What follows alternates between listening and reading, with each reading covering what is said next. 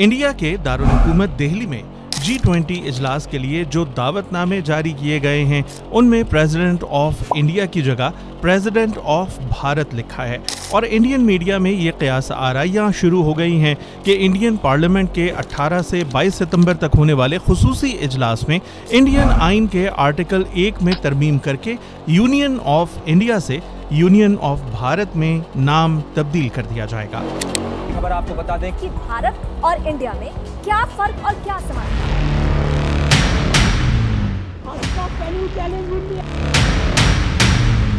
आपको बोलना है वोट फॉर इंडिया बोलेंगे क्या भारत का नाम बीजेपी रखेंगे? गोदी मीडिया अगर नहीं तो ऐसे मुद्दे हवा हो गए होते उड़ गए होते। 2014 में नरेंद्र मोदी की क़्यादत में कायम होने वाली बीजेपी की हुकूमत में इंडिया, हिंदुस्तान या भारत बतदरीज एक हिंदू इंतहा पसंद मुल्क बनने की राह पर गामजन है, जिस पर अंदरून मुल्क भी बीजेपी को मजाहमत का सामना है। लेकिन अक्सरियती हिंदू तबके के जज्बात की तस्कीन के लिए इंडिया एक ऐसी राह पर गामजन है, जो तकसीम की लकीरों को मजीद गहरा करके किसी भी मुल्क में फ़िरका वाराना या मजहबी बुनियादों पर सिविल वॉर को जन्म दे सकता है। इंडिया की मजहबी बुनियादों पर मुल्क और सकाफत की शनाख्त इसलिए भी एक इंतहाई कठिन मरहला है, क्योंकि इंडिया में दूसरी मजहबी अकलीतें खा वो मुसलमान हों, सिख, ईसाई या बुद्ध मत। उनकी तादाद करोड़ों में है, जो दुनिया के कई ममालिक की आबादी से ज़्यादा है। तो क्या एक ऐसा मुल्क अपनी एक मखसूस मजहबी शनाख्त के साथ अपना वजूद कायम रख सकता है? डेली बिट्स की एक और मालूमती और दिलचस्प वीडियो में आप सबको खुश आमदीद। दोस्तों, हिंदुस्तान आजकल एक नई कंट्रोवर्सी की जद में है, जहाँ ये बहस चल रही है कि क्या गवर्नमेंट हिंदुस्तान का सरकारी नाम चेंज कर रही है। दस्तूर हिंद में इंडिया भी दर्ज है और भारत भी। इसमें हिंद और हिंदुस्तान दर्ज नहीं है, मगर इन दो नामों की शोहरत भी कम नहीं है। आलम अरब में इंडिया और भारत को हिंद बोलते हैं और यहाँ के शहरियों को हिंदी। इस पर किसी हिंदुस्तानी को कभी एतराज़ नहीं हुआ। जब इकबाल ने कहा कि सारे जहाँ से अच्छा हिंदुस्तान हमारा तो इसे मुल्क के एक एक शहरी ने दिलो जान से कबूल किया और अपने दिल में वतन की अजमत और रफत को रासख किया। भारत का आइन बजाते खुद इन दो अल्फाज या नामों को शर्फ कबूलियत बख्शता है, जिसमें दर्ज है, इंडिया दैट इज़ भारत यानी इंडिया जो भारत है। यही वजह है कि अब तक इंडिया और भारत में कोई तफरीक और इम्तियाज़ नहीं था। खुद वज़ीर आज़म ने जिन स्कीमों को बड़े शानदार तरीके से जारी किया, उनके नाम स्किल इंडिया, स्टार्टअप इंडिया और खेलो इंडिया वगैरह हैं। हमारे ख्याल में दोनों ही नाम काबिल कबूल होने चाहिए, जैसा कि अब तक रहे, क्योंकि सिर्फ़ एक नाम, यानी भारत पर इसरार से कंफ्यूजन भी पैदा होगी और खतीर रकम भी खर्च करनी होगी। जैसा कि खबरों में बताया गया कि अगर इंडिया नाम बदला गया तो चौदह हज़ार करोड़ रुपए से ज़्यादा खर्च होंगे। क्या ऐसे वक्त में हिंदुस्तान इसका मुतहमल हो सकता है या इसे होना चाहिए, जब हर हिंदुस्तानी पर एक लाख सोलह हज़ार का कर्ज है? हुकूमत ने जी ट्वेंटी सरबराही इजलास के मौके पर गैर मुल्की मंदूबीन के लिए जो किताबचा शाये किया है, उसमें भी लफ्ज भारत का इस्तेमाल किया गया है। इसका उन्वान है भारत जमहूरियत की माँ। इसमें भारत की हज़ारों साल पर मुहित जमहूरी कदरों के बारे में बताया गया है। जबकि दूसरी जानब, आरएसएस के सरबरा मोहन भागवत का कहना है कि सदियों से हमारे मुल्क का नाम भारत है, इंडिया नहीं। हम सब लोग इंडिया शब्द का उपयोग करना छोड़ दें और भारत शब्द का उपयोग करना प्रारंभ करें। उन्होंने कहा कि हमारे मुल्क का नाम भारत है, इसलिए दुनिया में हम खा कहीं भी चले जाएँ, मुल्क का नाम कहने, सुनने और लिखने में हर जगह भारत ही रहना चाहिए। उन्होंने मजीद कहा कि अगर कोई इस बात को समझ नहीं पाता है तो आप उसकी फ़िक्र बिल्कुल ना करें। अगर सामने वाले को समझने की ज़रूरत होगी तो वो खुद ही समझ लेगा। आज दुनिया को हमारी ज़रूरत है। हम दुनिया के बगैर चल सकते हैं, लेकिन दुनिया हमारे बगैर नहीं चल सकती। आरएसएस सरबरा ने वाजे लफ्जों में कहा कि मुल्क के लोगों को इंडिया की जगह भारत कहने की आदत डाल लेनी चाहिए, क्योंकि ये नाम कदीम जमाने से चला आ रहा है। इस नाम को आगे भी जारी रहना चाहिए। अब हर जगह, इंडिया की जगह भारत का इस्तेमाल किया जाना चाहिए। मोहन भागवत की इस अपील के बाद हुक्मरान भारतीय जनता पार्टी और आरएसएस की जैली तंजीमों ने आइन से इंडिया का लफ्ज हटाने का मुतालबा तेज कर दिया है। सबसे पहली आवाज़ बीजेपी की हुकूमत वाली रियासत आसाम के वज़ीर आला ने उठाई। उन्होंने सोशल मीडिया पर ट्वीट करके कहा, रिपब्लिक ऑफ़ भारत मुसरत और फखर का मकाम है कि हमारी तहजीब अमृत काल यानी दौरे आब हयात की जानब, पूरी कुत से बढ़ रही है।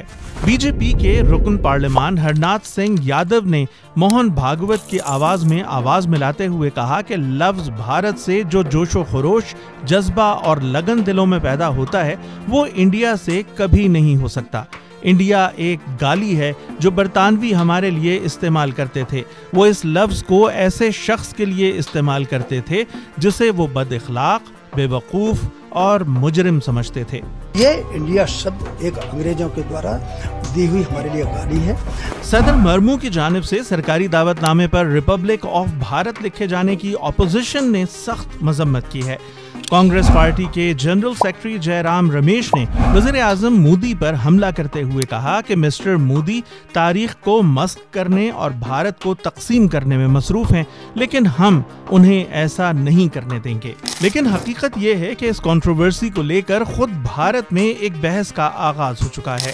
राष्ट्रीय जनता दल के रुकन पार्लियामान मनोज झा का कहना था कि चंद हफ़्ते कबल हमने अपने इतिहाद का नाम इंडिया रखा और बीजेपी ने इससे घबराकर भारत को रिपब्लिक ऑफ़ इंडिया के बजाय रिपब्लिक ऑफ़ भारत कहना शुरू कर दिया। आप हमसे ना तो इंडिया ले सकेंगे और ना ही भारत। दिल्ली की हुक्मरान आम आदमी पार्टी के रहनुमा और रुकन पार्लियामान संजय सिंह ने कहा कि दरअसल आरएसएस और बीजेपी भारतीय आइन मुरतब करने वाली कमेटी के सरबरा भीम रवा बैंकर से नफरत है। क्योंकि वो दलित थे। इस हवाले से इंडिया की सुप्रीम कोर्ट में दरखास्त दायर की गई है, जिसमें अदालत से कहा गया है कि इंडिया नाम यूनानी जबान के लफ्ज इंडक से माखूज है। लिहाजा इस नाम को आइन से निकाल दिया जाए। दरखास्त गुजार ने अदालत से गुजारिश की कि अदालत हुकूमत को हुक्म सादर करे कि आइन के आर्टिकल एक में तरमीम करके इंडिया का नाम सिर्फ़ भारत रखा जाए। इंडियन सुप्रीम कोर्ट ने इस दरखास्त को खारिज करते हुए इस मामले में मुदाखलत करने से इनकार कर दिया और कहा कि इस दरखास्त को हुकूमत के आइन के मामलात पर काम करने वाली वजारत को भेजा जाए और दरखास्त गुजार हुकूमत के सामने अपनी अपील पेश करे। दुनिया के कई ममालिक मुख्तलिफ़ अदवार में अपने नाम तब्दील कर चुके हैं। हाल ही में तुर्की ने अपने मुल्क का नाम तब्दील करके तुर्किया रखा है। हिंदुस्तान का नाम इंडिया हो या भारत इससे कोई फ़र्क नहीं पड़ता और ना ही हुक्मरान भारतीय जनता पार्टी की जहनीत बदल सकती है। हिंदुस्तान की तूलो अर्ज़ में मुसलमानों के मुकद्दस मकामात को मुनहदम करने के अलावा भारतीय हिटलर और इंसानियत के दुश्मन नरेंद्र मोदी मजहबी तासब और इंतहा पसंदी में इस कदर जहनी मरीज़ बन गए हैं कि तारीखी शहरों के नाम भी बदल कर हिंदू सकाफत को फ़रोग देने की गरज से मुतासबाना इकदाम उठाने में कोई आर महसूस नहीं करते। लिहाजा तारीखी शहर इलाहाबाद को प्रयागराज और कदीम शहर हैदराबाद दक्कन को भाग्या नगर के नामों में तब्दील करने की मजमूम कोशिशें शामिल हैं। इंडियन अदालतें मुसलमानों की इबादत गाहें हों या उनका कत्लेआम किया गया हो, मुसलमानों के घरों को जलाया गया हो, ऐसे मामला पर इंडियन अदालतों का रवैया मुतासबाना रहा है। गैर हकीकी और दलील से आरी मामला को इंडिया की अदालतें समात के लिए मंजूर करके मुसलमानों से तासब बरतने के साथ जानबदारी का मुजाहरा भी करती हैं, जैसा कि बनारस की ज्ञानवाबी मस्जिद की जगह को ये कहकर मुतनाज़ बनाया गया कि मस्जिद के वज़ू खाने से मिलने वाली चीज़ देवता शिव की अलामत है। इंतहा पसंद हिंदुओं ने इस मफरूजे की बिना पर बनारस की अदालत से रुजू कर लिया और बनारस की अदालत ने हिंदुओं के इस दलील से आरी दावे को समात के लिए मंजूर कर लिया। इसके बरक्स मुल्क के आइन में तरमीम के लिए दरखास्त को खारिज करके इसे आइनी मामले में मुदाखलत करने से साफ़ इनकार दूसरी जमहूरियत पसंद रियासतों के लिए काबिल तकलीद अमल है। इंडिया में मुसलमानों से नफरत और इंतहा पसंदी के वाकयात में रोज बरोज इजाफा हो रहा है। इंतहा पसंद मोदी ने मुसलमानों का गुजरात में जो कत्लेआम करवाया था, अमेरिका ने इस इकदाम पर मोदी के अमेरिका में दाखिले पर पाबंदी आयद किए रखी। लेकिन इंडिया का वज़ीर आज़म बनने के बाद भी मोदी के मुसलमानों से बोग्स और नफरत में कमी नहीं हुई। बल्कि सारे हिंदुस्तान में मुसलमानों की सकाफत, मसाजिद, इमारतों, सड़कों और यादगारों के नाम भी तब्दील कर दिए। अमरीकी प्रोफेसर ग्रेगोरी स्टैंटन ने एक आलमी कॉन्फ्रेंस खिताब के दौरान कहा कि इंडिया नस्ल कुशी के आठवें मरहले में दाखिल हो चुका है और मुस्लिम कम्युनिटी का मुकम्मल सफाया सिर्फ़ एक कदम दूर रह गया है। ये बात आया है कि भारतीय जनता पार्टी की हुकूमत के बरसर इकतदार आने के बाद से ही इंडिया में मुसलमानों पर अरसा हयात तंग कर दिया गया है। गाँव रक्षा और लव जहाद के नाम पर मुसलमानों को कत्ल कर देना हिंदुत्व के लिए मामूली अमल है। डॉक्टर ग्रेगोरी स्टैंटन ने इंडिया में 2002 से नस्ल कुशी के हवाले से अपने दिए हुए इंतबाह को नुमाया करते हुए कहा कि जब गुजरात में कत्लेआम हुआ था और हज़ारों मुसलमान जहाँ बाहक हुए थे, उस वक्त नरेंद्र मोदी वज़ीर आला थे, लेकिन उन्होंने कुछ नहीं किया। दर हकीकत कई सबूत हैं कि मोदी ने कत्लेआम की हौसला अफजाई की थी।